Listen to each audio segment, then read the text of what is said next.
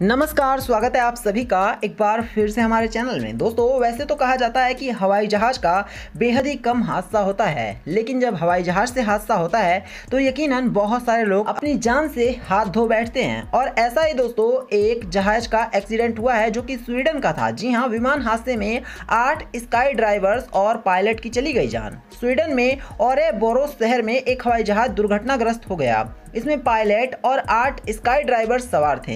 हादसे में सभी स्काई ड्राइवर्स और पायलट की जान चली गई। स्वीडन के ज्वाइंट रेस्क्यू कोऑर्डिनेशन सेंटर के मुताबिक ये एक छोटा प्रोपेलर विमान था। जो कि ऑरेब्रो एयरपोर्ट के पास स्कॉट होम से 160 किलोमीटर पश्चिम में हादसे का शिकार हो गया। जेआरसीसी ने कहा कि उसने इस विमान को रनवे पर पाया। उड़ान भरते समय विमान हादसे का शिकार हुआ। विमान में कुल नौ लोग सवार थे। पुलिस प्रवक्ता लॉर्ड्स हेडलिन ने बताया कि इसमें कई लोगों की जान गई है। हालाँकि उन्होंने सही संख्या नहीं बताई है। प्रवक्ता ने बताया कि बुरी तरह घायल एक व्यक्ति को अस्पताल ले जाया गया है।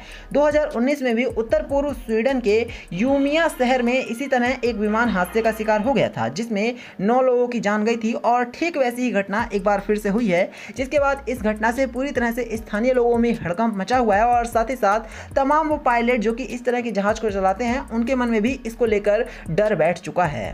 तो यही था वीडियो में। वीडियो को लाइक करना, इसे शेयर करना और चैनल को सब्सक्राइब करना। धन्यवाद।